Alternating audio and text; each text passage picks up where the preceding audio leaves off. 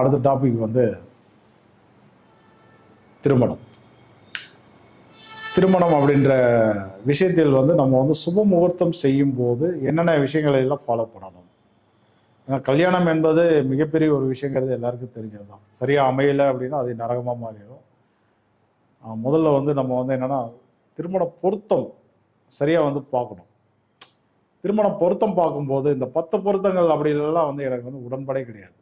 பத்து பொருத்தங்களில் வந்து எட்டு கரெக்டாக இருக்குது ஏழு கரெக்டாக இருக்குது ஒன்பது கரெக்டாக இருக்குன்னு பண்ணிட்டு காலங்காலமாக வந்து பத்து பொருத்தம் பத்து பொருத்தம் பார்க்க வேண்டியது. அப்புறம் செவ்வாய் தோசம் ராகு தோசம் கலஸ்தர தோசம் அப்புறம் வந்து பார்த்தீங்கன்னா சன்னியாசி தோசம் ஸோ இது எல்லாமே வந்து பார்க்குறீங்க ரைட் ஓகே அப்புறம் பார்த்து தானே கல்யாணம் பண்ணுறீங்க அப்புறம் ஏன் இப்படி உள்ள பஞ்சாயத்துகள் பிரச்சனைகள் சண்டைகள் கருத்து வேறுபாடுகள் கோர்ட்டு கேஸு டைவர்ஸு ஏன் வருது? எதனால் வருது? பார்க்குறதுல சரியில்லை. சரியாக பார்க்கல அதனால தப்பு நடக்குது அதனால பிரச்சனைகள் வருது. அதான் வந்து உண்மை. அஸ்ட்ராலஜிங்கிறது தவறா? அஸ்ட்ராலஜியில் தவறு இல்லை. நீங்கள் கற்றுக்கிட்ட விஷயங்கள் சொல்கிற விஷயங்கள் செய்கிற விஷயங்கள்ல தவறு இருக்குது அதான் வந்து உண்மை. பார்க்கணும். அது எப்படி பார்க்கணும் அப்படின்னாக்க ஒரு ஜாதகத்தில் கலஸ்திரக்காரகன். ஒரு ஜாதகத்தில் கலஸ்திரக்காரகன் கெட்டிருந்தால் இன்னொரு ஜாதகத்தில் நல்லா இருக்கும். ஒரு ஜாதகத்தில் செவ்வாய் கெட்டிருந்தால் கோபத்தை தரக்கூடிய கிரகம் காமத்துக்குரிய கிரகம் சண்டை சச்சரவுகளுக்கு உண்டான கிரகம் ஸோ இதெல்லாம் வந்து ஒரு ஜாதகத்தில் வந்து கெட்டு போயிருந்தா இன்னொரு ஜாதகத்தில் நல்லா இருக்கணும் கரெக்டாக பணம் வந்து ரெண்டு பேருக்கிட்டையுமே வந்து பணம் இல்லை. கணவனுக்கும் வந்து போதிய வருமானம் இல்லை. மனைவிக்கும் போதிய வருமானம் இல்லை. அந்யோன்யமாக பாசம் நேசமாக அன்பாக வந்து குடும்பம் நடத்திட முடியுமா? வேலைக்கே ஆகாது. அப்போ ஒருத்தருக்கு வருவாய் சரியில்லைனாலும் ஒருத்தருக்காவது நல்லா இருக்கும் ரெண்டு பேருக்குமே வருமானம் இல்லைனாக்கா அந்த இடத்துல எப்படி நிம்மதி கிடைக்கும்? ஏன்டா இவரை கல்யாணம் பண்ணோம் இது இந்த பக்கம் நினைப்பாங்க? அந்த பக்கம் போனால் ஏன் இவரை கல்யாணம் பண்ணலாம் இவங்களை இவ்வளோ ஏன் இந்த பொண்ணை ஏன் நம்ம வந்து கல்யாணம் பண்ணணும் இவ- அந்த அவிக நினைப்பாங்க. அதான் நடக்கும். அப்போ வந்து என்னன்னா தனத்துக்குரிய கிரகம் குரு பகவான். ஒரு ஜாதகத்தில் கிட்ட இருந்தால் இன்னொரு ஜாதகத்தில் நல்லா இருக்கும். உயிர் அணுக்களுக்கு உற்பத்திக்கு உண்டான கிரகம் வந்து சூரியன் இருக்காரு. அவர் உயிர் உற்பத்தியை குறிக்கக்கூடிய ஒரு கிரகம். குரு பகவானும் உயிரை உள்ள- உற்பத்தியை வந்து குறிக்கக்கூடிய கிரகம். கர்ப்பப்பையை குறிக்கக்கூடிய கிரகம் வந்து குரு பகவான். குழந்தையை குறிக்கக்கூடிய கிரகம் வந்து குரு பகவான். அவர் இவங்கெல்லாம் நல்லா இருக்க வேண்டாமா? குழந்தை செல்வத்தை வந்து அடைய வேண்டாமா? ஸோ இப்படி வந்து கிரக பலத்தின் அடிப்படையில் நம்ம வந்து பார்க்கணுமே ஒழிய பத்துக்கு இத்தனை கரெக்டாக இருக்குது அத்தனை கரெக்டாக இருக்குது இதெல்லாம் வந்து என்னென்னா வேலைக்கு ஆகாது. ஸோ அதனால் என்னன்னா திதியோகம் கரண ஜோதிட முறையில் நன்கு தேர்ந்தவர்கள் அப்படின்னா தமிழ்நாட்டில் ரெண்டு பேர் தான். அவங்க கிட்ட திருமண பொருத்தம் பார்த்தீங்க அப்படின்னா ரிசல்ட் வந்து பக்காவாக இருக்கும். இதை வந்து சேர்த்தலாம் சேர்த்தக்கூடாது. அது ரிசல்ட் கரெக்டாக இருக்கும். இல்லை லவ் பண்ணிட்டாங்க. சேர்த்தி தான் ஆகணும். என்ன பரிகாரம்? இல்லை உறவுகளில் என்ன பரிகாரம்? கல்யாணம் பண்ணி தான் ஆகணும் அதுக்குண்டான வழிமுறைகளும் இருக்குது ஏற்கனவே கல்யாணம் நடந்துருச்சு. ஒரே பஞ்சாயத்து தான் போயிட்டு இருக்குது. டைவர்ஸ் போயிடுச்சு அப்படி இதெல்லாம் சரி பண்ணுறதுக்கு என்ன வழி? எல்லாத்துக்கும் தீர்வுகள் வந்து உண்டு. தீர்வுகள் அஸ்ட்ராலஜியில் வந்து இல்லாத விஷயமே கிடையாது. மிகப்பெரிய ஒரு ஞானம் தெளிவு புரிதல் அனுபவம் முக்கியமாக வந்து எத்தனை வருட அனுபவங்கள் நமக்கு? எத்தனை பேருக்கு வந்து இந்த மாதிரி பிரச்சனைகளை ஃபேஸ் பண்ணியிருக்கோம்? எத்தனை பேருக்கு நம்ம வந்து செஞ்சு சக்ஸஸ் கொடுத்துருக்கோம்? அந்த அனுபவங்கள். அந்த அனுபவங்கள் ஏற ஏற ஆணித்தரமாக நம்மளால வந்து சொல்ல முடியும். இந்த பிரச்சனையா இந்த இதை மாதிரி பண்ணுங்க கண்டிப்பாக சரியாயிடும் அதே மாதிரி ரிசல்ட் கிடைக்கும் நமக்கு. கரெக்டுங்களா அடியனுக்குலாம் வந்து பார்த்தீங்கன்னா எனக்குலாம் வந்து அஸ்ட்ராலஜியில் வந்து கிட்டத்தட்ட வந்து இருபத்தஞ்சு வருட அனுபவங்கள் நமக்கு. அதனால் நீங்கள் வந்து அதெல்லாம் வந்து திருமணம் பொறுத்ததில் வந்து ஃபாலோ பண்ணிக்கணும். இப்போ அடுத்தது வந்து என்னென்னா இதில் நான் இந்த வீடியோஸில் வந்து சொல்ல வேண்டியது வந்து இந்த லைவ்ல இந்த கல்யாணம் பண்ணும்போது பார்த்தீங்க அப்படின்னா நிறைய தவறுகள் நடக்குது. திருமணம் வந்து நடக்கும்போது. கோவிலில் கல்யாணம் பண்ணால் நல்லது அப்படின்னு எல்லாருக்கும் ஒரு எண்ணங்கள் வந்து உண்டு. கோவிலில் கல்யாணம் பண்ணால் நல்லது. ஏன்னா ஒரு கோவிலில் வந்து இறைவன் முன்னாடி நம்ம வந்து கல்யாணம் பண்ணும்போது ரொம்ப நல்லது. நம்ம ஜாதகத்தில் எந்த வித தோஷங்கள் இருந்தாலும் சரியாயிடும் அப்படி சொல்லி எல்லாரும் நினைக்கிறது வந்து சகஜம்தான். ஆனால் எந்த கோவிலில் பண்ணால் நல்லது? இப்போதான் இந்த வீடியோஸ் முன்னாடி ஆரம்பத்தில் தான் சொன்னேன் நான். எல்லா கிரகங்களும் எல்லா கோவிலும் உங்களுக்கு வந்து நன்மையை வந்து தராது. எல்லா கோவில்களும் ஒரு மனிதனுக்கு வந்து நன்மை தராது. அப்புறம் ஏன் ஒரு சில கோவில்கள்லாம் போயிட்டு வரும்போது அவனுக்கு ஆக்சிடென்ட் ஆகுது ஸ்பாட்லேயே இறந்துறான் கை கால் ஒடிஞ்சு போயிடுது அது வீட்டுக்கு வந்தாக்கா வந்து எனக்கு இந்த கோயில் போயிட்டு வந்து எனக்கு வந்து நிம்மதியே இல்லை பிரச்சனை அதிகமாயிருச்சு. கடன் தொல்லை அதிகமாயிருச்சு சண்டை சச்சரவுகள் அதிகமாயிருச்சு இந்த நோய் வந்துருச்சு நான் படுத்த ஆயிட்டேன் இந்த கோயில் போயிட்டு வந்தால் எனக்கு நடக்கு நடந்துச்சு. சொல்கிறாங்கல்ல ஏன்? ஏன் அப்படின்னா ஒரு ஜாதகர் வந்து எல்லா கோவில்களுக்கும் முதல்ல வந்து போகவே கூடாது. அப்போ நீங்கள் பாட்டுக்கு நினச்ச கோவிலில் போய் கல்யாணம் பண்ணிக்கலாமா? எனக்கு வந்து கோயிலில் கல்யாணம் பண்ணால் நல்லது அப்படின்னு பண்ணிக்கலாமா அதுக்கும் வந்து விஷயம் வந்து உண்டு. இப்போ நீங்கள் வந்து பிறந்தது வந்து சூளம் சூலம் வரியான் வைத்திருத்தி நாமயோகத்துலேயோ விஷ்கம்பம் கண்டம் பரிக நாம யோகத்திலே இந்த ஆறு நாம நாமயோகத்தில் நீங்கள் பிறந்திருந்தீங்க அப்படின்னா சிவாலயத்தில் நீங்கள் வந்து கல்யாணம் பண்ணவே கூடாது. அது முழுக்க முழுக்க உங்களுக்கு கெடுதலை தரக்கூடிய ஒரு இடம். அதுக்கு வந்து என்ன தோசை நிவர்த்தி போனாலும் எந்த சிவன் கோயிலுக்கு போகணும்னு ஒரு கணக்கு இருக்கு. அந்த பரிகாரத்துக்காக தான் நம்ம வந்து போகணுமே ஒழிய சிவன் கோயிலில் போய் கல்யாணம் பண்ணோம் அப்படின்னாக்க நமக்கு வந்து வந்து தோசை நிவர்த்திலாம் வந்து கிடைக்காது. கரெக்டா? அப்போ சிவாலயம் என்பது நமக்கு வந்து பாதிப்பை தரக்கூடிய நிலையில் இருந்தால் நம்ம பாட்டுக்கு சிவன் கோயில்னு எல்லா கோயிலுக்கும் போயிட்டு இருக்கக்கூடாது அந்த கோபத்தை குறைப்பதற்கும் சாபத்தை நிவர்த்தி செய்வதற்கும் அந்த பிரச்சனையை சரி செய்வதற்கு எந்த சிவாலயம் போனால் சரியாகும்னு ஒரு கணக்கு இருக்கு. அந்த கோவில் போகும்போது அது சரியாகும்.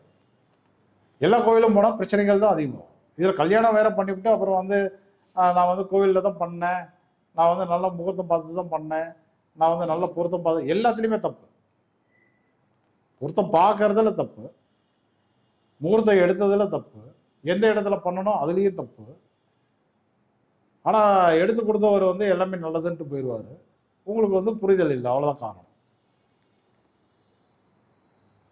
அப்போ தவறுகள் நடக்கும்போது பிரச்சனைகளும் நடக்கதானே செய்யும். அப்போ மாதிகள் அப்போ வந்து என்னென்னா சூலம் வரியான் வைத்திருதி நாமயோகத்தில் பிறந்தவர்கள் விஷ்கம்ப கண்டம் பரிகம் நாமயோகத்தில் பிறந்தவர்கள் சிவாலயங்களில் திருமணம் வந்து செய்யக்கூடாது.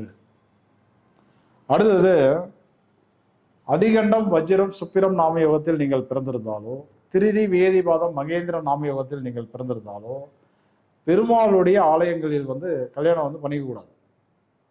அது ஆணுக்கு பெண்ணுக்கு ரெண்டு ஜாதகத்திலுமே பார்க்கணும். ரெண்டு பேர்த்துல யாருக்கா ஒருத்தர் அப்படி இருந்தால் கூட அந்த கோயில் வைக்கக்கூடாது.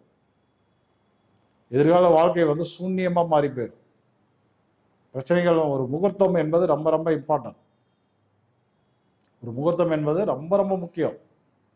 ஒரு நிகழ்வு எப்போ ஆரம்பமாகிறதோ அதுதான் வந்து தீர்மானிக்கும். அந்த நிகழ்வினுடைய தன்மையை. கரெக்டா நீங்கள் வந்து தாலி கட்டுற முகூர்த்தத்தை வந்து தப்பு பண்ணிட்டு அப்புறம் வந்து பின்னாடி வந்து நான் வந்து எல்லாமே இங்க பிரச்சனையாக இருக்குது பிரச்சனையாக இருக்குன்னா பிரச்சனை வரதான் செய்யும். அப்போ நீங்கள் வந்து என்னன்னா எந்த கோயிலில் இது பண்ணக்கூடாது. இப்போ அடுத்தது வந்து பார்த்தீங்கன்னா நீங்கள் பிறந்தது பிரீத்தி விருத்தி சிவம் நாமயோகத்தில் பிறந்திருந்தால் முருகன் கோவிலில் நரசிம்மர் கோவிலில் வந்து கல்யாணம் பண்ணாதீங்க. மாப்பிள்ளை ஜாதகம் பொண்ணு ஜாதகம் ரெண்டையுமே எடுத்து பார்க்கணும். அது எத்தனாவது கல்யாணமாக இருந்தாலும் சரி. இல்லை நாங்கள் வந்து இங்கே பண்ணிவிட்டு ரிஜிஸ்டர் மேரேஜுக்கு போயிடுவோம் அப்படின்னா அது அதுவும் பார்க்கணும். கரெக்டாக இப்போ அடுத்தது வந்து நீங்கள் வந்து சௌபாகியம் வியாகாதம் சாத்திய நாமயோகத்தில் பிறந்திருந்தால் குருனுடைய ஸ்தலங்களில் வந்து கல்யாணம் பண்ணக்கூடாது. குரு குருவாயூரப்பன் திருச்செந்தூர் முருகன் பிரம்மாவுடைய கோவில்கள் இப்போ அந்த ஆலங்குடி தென்குடி திட்டை புளிச்சலூர் சிவன் திருமாந்துரைநாதர். ஸோ இந்த இடங்கள்லாம் வந்து கல்யாணத்தை வந்து பண்ணிக்கக்கூடாது. இப்போ அடுத்தது ராகு. அதாவது ஆயுஷ்மான் துருவம் சித்தம். மூணு நாமயோகத்தில் நீங்கள் பிறந்திருந்தீங்க அப்படின்னா உக்கிரமான தெய்வங்களுடைய இருப்பிடங்களில் போய் நீங்கள் கல்யாணம் பண்ணிக்கூடாது உக்கிரமான தெய்வங்கள்னு பார்க்கும்போது இப்போ காளியம்மன் மாரியம்மன் செல்லியம்மன் எல்லைப்பிடாரியம்மன் பிரியாண்டிச்சம்மன் மாசாணியம்மன் முண்டகணியம்மன் கையில் ஆயுதம் ஏந்திய உக்கிரமான அசுரர்களை அழித்த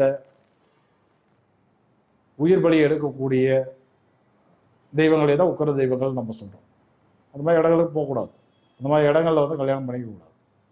ஓகேவா அடுத்தது சுகர்மம் சித்தி பிராமியம் நாமயோகத்தில் நீங்கள் பிறந்திருந்தால் விநாயகர் கோயிலில் போய் கல்யாணம் பண்ணிக்கூடாது என்ன சார்? முதல் கடவுளே விநாயகர் தானே? ஆமாம் அவரும் ஒரு கடவுள் தான் அவரும் ஒரு கிரகம் தான் அந்த கிரகம் உங்கள் ஜாதகத்தில் நல்லா இருந்தால் தான் அது நல்லது பண்ணும்.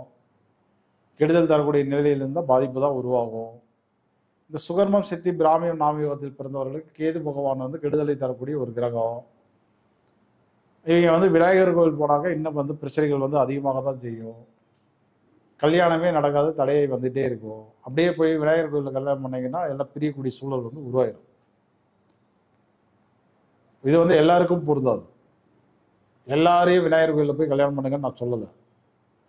சுகர்மம் சித்தி பிராமியம் நாமயோகத்தில் நீங்கள் பிறந்திருந்தால் வேலைக்கு ஆகாது.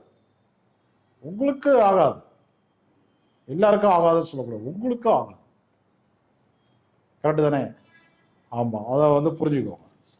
அப்போ கல்யாணம்னு வந்தது அப்படின்னா நிறைய விஷயம் இருக்குது இந்த வந்து கல்யாண முகத்தெல்லாம் எடுக்கிறதுங்கெல்லாம் சர்வசாதாரண விஷயம் இல்லை. எல்லா கிரகங்களும் வந்து பலம் ஒன்று ரெண்டு கிரகங்களை தவிர மீதி எல்லா கிரகமும் பலமாக இருக்கணும். ஒம்பது கிரகம் இருக்குது அப்படின்னா ஏழு கிரகமாவது பலமாக இருக்கும். ஒரு கல்யாண நிகழ்வில். கல்யாணத்தை நடத்தணும் அப்படின்னா பணம் வேணாமா? தங்கம் போட வேணாமா? மாப்பிள்ளை சைடில் இல்லை மாப்பிள்ளை வந்து பொண்ணுக்கு தங்கம் போட மாட்டாங்க பொண்ணு தான் மாப்பிள்ளைக்கு வந்து தங்கம் போட மாட்டாங்களா? இல்லை ஒரு கார் வாங்கி கொடுப்பாங்க ஒரு பைக் வாங்கி தருவாங்க வந்து கல்யாண மண்டபத்துக்கு வாடகை கொடுக்கணும் சாப்பாடு செலவு இருக்குது இப்போ எக்ஸ்ட்ராஸ் வந்து எல்லாம் எல்லாமே பணம் தானே? இப்போ பணம் வேணுமா வேணாமா? அப்போ பணம் நல்லா இருக்கணும் அப்படின்னா சுப முகூர்த்தம் தேர்ந்தெடுக்கிற அன்னைக்கு குரு பகவான் வந்து நல்லா இருக்கும்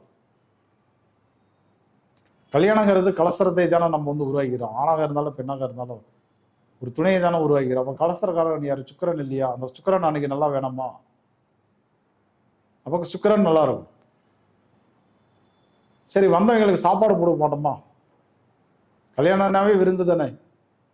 வந்தவர்கள் நாளைக்கு போயிட்டு வந்து மாத கணக்கில் வாரக்கணக்கில் பேச வேணாமா? அந்த கல்யாணத்தில் அப்படி இருந்தது அப்படின்னு சொல்லிட்டு. சந்திரன் நல்லா இருக்கணும் கல்யாணத்தன்னைக்கு சந்திரன் நல்லா இல்லை அப்படின்னா சாப்பாடு வந்து சொதப்பலாகி போயிடும். தண்ணி கிடைக்காது குடிக்கிறதுக்கு. சமைக்கிறதுக்கு தண்ணி இல்லை. குடிக்கிறதுக்கு தண்ணி இல்லை. எத்தனை கல்யாணம் தெரியுங்களா? பிரச்சனை? இப்போ சந்திரன் வந்து நல்லா இருக்கும் சண்டை இல்லாமல் நல்லபடியாக நடக்க வேண்டாமா? சண்டை சச்சரவுகள் எதுவுமே இல்லாமல் நல்லபடியாக நடக்கணும் இல்லையா? செவ்வாய் நல்லா இருந்தால் தான் வேலைக்கு ஆகும். ஒரு வந்து கல்யாணத்துக்கு வந்து ட்ராவல் பண்ணுறோம் வெகு தூரம் வந்து வண்டியில் போய் ட்ராவல் பண்ணி அடுத்த நாள் வந்து மேரேஜ் நடக்குது. விபத்துக்குரிய கிரகம் ராகு பகவான் நல்லா இருக்க வேணாமா? ஆயிலுக்குரிய கிரகம் சனி பகவான் நல்லா இருக்க வேணாமா? அதெல்லாம் அன்றைய நாளில் ஃபெயிலியர் ஆனாக்கா அப்புறம் வந்து போகும்போது தடங்கள் வராதா? பிரச்சனைகள் உருவாகாதா? இப்படி எல்லா கிரகங்களும் தன்னுடைய பங்குக்கு வந்து அன்றைய நிகழ்வில் வந்து சம்மந்தப்படுவாங்க. குறைந்தது ஏழு கிரகங்களாவது வந்து ஆறு கிரகங்களாவது வந்து அன்றைய நாளில் வந்து நல்லா இருக்கும் அதை எப்படி தேர்ந்தெடுக்கணும் அப்படின்னா அன்றைய திதி நித்திய நாம யோகம் கரணம் எல்லாத்தையும் இணைச்சு தான் இந்தந்த கிரகங்கள் பலமாக இருக்குது பலவீனமாக இருக்குது இன்றைக்கி பண்ணலாம் பண்ண வேண்டாம் அப்படிங்கிறத முடிவு பண்ணணும்.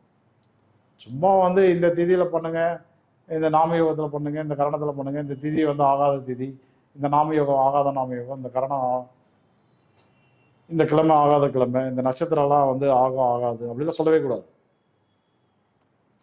இங்கே வந்து நிரந்தர நல்லதுன்னு எதுவும் கிடையாது நிரந்தர கெட்டதுன்னு எதுவுமே கிடையாது. எதுவுமே வந்து ஃபிக்ஸடு ஒரு ரூல் வந்து கிடையவே கிடையாது. எந்த கிழமையாக இருந்தாலும் எந்த நட்சத்திரமாக இருந்தாலும் எந்த திதியாக இருந்தாலும் எந்த நாமயோகமாக இருந்தாலும் எந்த கரணமாக இருந்தாலும் அன்றைக்கு அந்த ஒன்பது கிரகங்களுடைய பலம் பலவீனம் என்ன? அதுதான் அன்றைய பலனை வந்து தீர்மானிக்கும். கரெக்டா ஃபிக்ஸடாக வந்து ஒரு இது விஷய விஷயத்தை வச்சுக்கிட்டு இந்த தேதியில பண்ணா நல்லது இந்த கரணத்துல பண்ணா நல்லது தவறு. எல்லாமே கிரக பலத்தில் தான் வந்து முடியும்.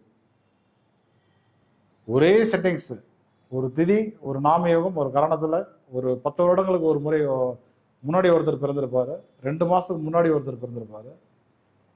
இன்றைக்கி ஒரு குழந்தை பிறக்கும். இந்த மூணு குழந்தைகளுடைய ஜாதகத்தையும் எடுத்து பார்த்தா எல்லாம் ஒரே மாதிரி தான் வரும். திதி ஒரே மாதிரி வரும் யோகா ஒரே மாதிரி வரும் கரணம் ஒரே மாதிரி வரும். பலன்கள் அப்படின்னு பார்க்கும்போது வெவ்வேறு மாதிரி நடந்துட்டு இருக்கும்.